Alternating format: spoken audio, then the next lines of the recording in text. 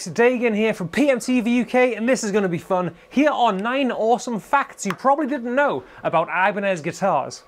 Ibanez guitars are fantastic and I love them. They've always made amazing quality guitars in all shapes and sizes, from bass guitars to semi-hollows to big jazzy arch tops, acoustics and of course the mainstream electrics. And they cover every price point as well, from big fancy custom shop ones all the way down to the beginners out there but each Ibanez delivers exactly what you'd expect. Amazing tone, great performance, the quality is amazing, super versatile, and they always look fantastic. And they've had an interesting ride, has Ibanez guitars, since they started in the early 1900s. Yes, they've been going for a very long time. And as always, if you want to add anything, please comment down below because I love learning about this stuff just as much as you guys. So without further ado, let's get started on 9 awesome facts you probably didn't know about Ibanez guitars. Fact number one, they started in 1908 as the Hoshino Gakki Company. Apologies if my Daft Geordie accent butchers all of these Japanese names as well. I'm sorry in advance. So yeah, the Hoshino Gakki Company were the musical instrument buying division of Hoshino Shoten, which was a bookstore chain in Japan at the time. So this part of the company bought in instruments from around the world and distributed them through the bookstore chain uh, to retailers throughout Japan. And it wasn't until 1935 Hoshino Gakki was like, right, I'm gonna not import as many as I want to, I'm gonna start making my own instruments in-house. Fact number two, they are a Japanese company, but have a Spanish name. They are called Ibanez after renowned Spanish guitar luthier Salvador Ibanez. Now, to get to that name, there's a couple of conflicting bits of history that I can't seem to get to the bottom of. So if you know definitively, please comment down below because I will be reading and I want to find out this more than anything right now doing this video. The first bit of history is the fact that Hoshino Gakki um, imported Salvador Ibanez guitars and sold them to the, uh, the retailers throughout Japan. The second bit is that he never actually had Salvador Ibanez's guitars. That was actually Yamaha that distributed them. But when he started making his own guitars, he wanted to uh, honor Salvador uh, Ibanez and called his guitars Ibanez at the time. So the name stuck because they distributed them. They never distributed them, but they wanted to honor them when they made the uh, guitars themselves. Both reasons why they could be called Ibanez, but it's because of Salvador Ibanez. Fact number three, they just straight up copied famous guitars in the 70s. Now, some people already know this, but if you don't, it's a really cool story. So, Ibanez had a very small start, quite humble beginnings, really, uh, getting into the guitar world, making some beautiful nylon strings with Salvador Ibanez and all that kind of stuff. Moving into the mid part of the century, brands like Fender and Gibson were making some fantastic guitars, and they were like, right, let's just make Japanese versions of them because we weren't getting any Fenders or uh, Gibsons in Japan at the time. Ibanez, let's make some Les Pauls and some Fenders. Great guitars, and if you can find these lawsuit Ibanez guitars, they are fantastic. Because they were so fantastic, everybody bought them at the time, and it wasn't long before the big brands in, um, in America and around the world were like, stop copying our guitars. This is copyright. This is ridiculous. We're going to sue you unless you stop. So they had to stop and start to think of design, designs for themselves, like guitars like the Iceman Fact number four, what do you think are your favourite Gibson Explorer guitar players are actually playing Ibanez Destroyers? So we all know that Ibanez copied Gibson in the 70s. Gibson made a Korina Explorer in uh, the 50s, very expensive now, very rare and sought after. But the Ibanez ones were identical and made their way into America in the 60s and 70s.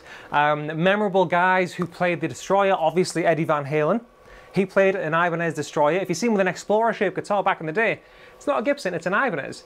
And he played that on all the first album where it wasn't a whammy bar, where a whammy bar wasn't involved. I think that is all Ibanez Destroyer. And he then cut into it, cut a big chunk out and sprayed it his traditional Eddie Van Halen stripes and put some little metal guys in, and that became the Shark guitar, which can be seen on the cover of, uh, of Fair, uh, Women and Children First. But he ruined the way it sounded by cutting a massive chunk out of it, so he notoriously never played it after he cut a big hole in it. You can buy an EVH branded Shark guitar these days, and I have kind of got to the bottom of why it sounded crap, and these guitars sound great and look the part, but the original one was an Ibanez Destroyer, not an Explorer. Who else? Paul Stanley in the 80s rocked an Ibanez Destroyer. Phil Collen from Def Leppard from 1981 to 1984 um, played an Ibanez Destroyer. There's so many Destroyer artists out there, this could be a video in itself. Fact number five, RG, the model name RG, like this guitar right here, stands for Roadster guitar. And there's been a lot of dispute over what the initials RG mean, but it's generally accepted that it's a that it's Roadster guitar because the Roadster was a model of guitar that Ibanez made in the 80s before the RG. That was discontinued, and then, then the RG was released in 1987 alongside the Jem, which I'll, which I'll talk about later on in this video, how those two kind of mesh together. But yeah, 1987, the RG was released, the uh, the Roadster guitar. Fact number six, they made the first ever mass-produced seven-string guitar. Now I've got a weird little fun fact in this bit as well. I'm not trying to flex on you all. I think that's what the kids say these days, but it's a fun little thing coming up. So in 1990, the Universe was released, which was a Steve Vai seven-string guitar. It had never really been done before. It had been done in prototypes, I think, but never quite like this. Never in the mass-produced way in which Ibanez released the seven-string upon us. For Mr. Steve Vai, and had DiMarzio blaze two pickups in, and it kind of set the world on fire. Steve Vai loves it. Uh, John Petrucci in Dream Theater was a big seven-string guy, and of course, the dudes from Korn. Now my fun little tidbit is the um, a good friend of mine, Mr. Thomas McRocklin, owns the one of the first ever universes, the universe from the cover of Steve Vai's Passion and Warfare, and I've had a little fiddle with it and it's amazing. This guitar has a monkey grip in, the signature Steve Vai monkey grip. Now, regular universes don't have them, and on the cover of Passion and Warfare, there's not a monkey grip in that guitar. That is because it originally intended to have the grip hold, the grip, um, the grip holes in it, but it was quickly decided afterwards to get rid of that. So they photoshopped the holes out on the cover of Passion and Warfare, but the original one from the cover, Thomas's, and the one in that picture is the legit one. So the original designs did have the monkey grip in. How cool is that?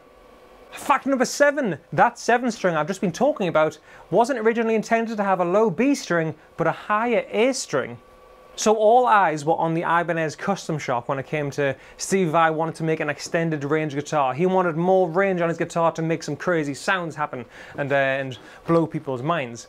Originally it was intended to repeat the strings uh, up the way, so E, A, D, E, A, and have an A below it. It wasn't until um, I think they were actually playing a couple of different ideas and the low string just sounded better and it was more akin to Vai and obviously it's it shaped the metal world with the 7 and 8 strings. Uh, imagine the world with a higher A string though, imagine if there was no 7 strings. That's absolutely crackers. Apparently Fender um, did prototype a couple of 7 strings with a high A but it never came into fruition and, uh, and Ibanez were the first. Fact number 8, quite a fitting number actually for this fact.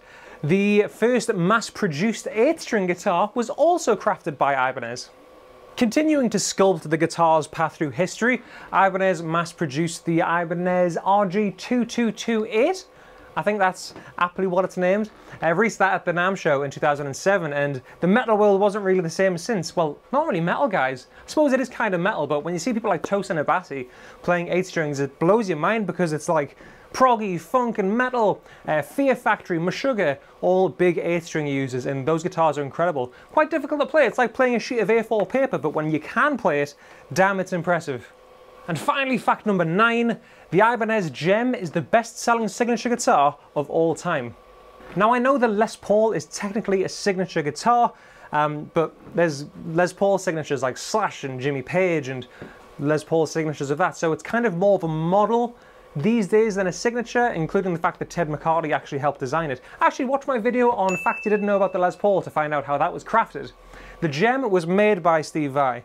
He was the first to to really think about doing a full two octave range on the fingerboard, 24 frets, kind of making a more aggressive strat shaped guitar, because before that all the Kramers and Charvels and Jacksons were a little bit curved. This was one of the most aggressive, um, one of the first to have a pull up tremolo, uh, mass produced anyway that is, two humbuckers and a single coil. Steve Vai innovated the entire guitar um, the guitar circle in America in LA at the time with the Ibanez Jem in 1986 and it was released at the NAMM show in 1987 and it's been the, one of the, well, the best-selling signature guitar of all time. So there's Slash Les Pauls and Jimmy Page Les Pauls. There's never been a Dagan Jem or a, a I don't know, some other Jem player Jem. It's always Steve Vai's guitar. And the RG, the Roadster guitar, was actually released to be a more budget-friendly version of the Jem. So there we have it folks, nine awesome facts that you probably didn't know about Ibanez guitars. Now, you might have already known some of these facts and that's a fair shout, but if you didn't know them, that's awesome. I hope you got some nuggets of information from this, and if you have any more, like I said at the start, please comment down below because I want the knowledge of these fantastic guitars to be out there because they've had such an interesting history. I also want to know your favorite Ibanez guitar because there have been so many different variants. They've made over 300 Ibanez models over the years, like 300 variants of RGs and Jems and Satriani models and the Talmans and stuff. What? That's a crazy achievement over 300. That's like a that's a little 10th fact for the day. Over 300 guitars. Awesome company and I hope they continue to make awesome guitars well into the future because I dig them. And if you like this video, give it a thumbs up and subscribe to PMTV UK on YouTube for lots more cool guitar and music related content. If you want any more information on Ibanez guitars, get your fine self to pmtonline.co.uk or call into one of our forever expanding lovely PMT stores. We are PMT House of Rock on Twitter, Instagram and Facebook. Give us a like and a follow to see pictures of these with nice filters on. I've been Dagan, and I'll see you next time.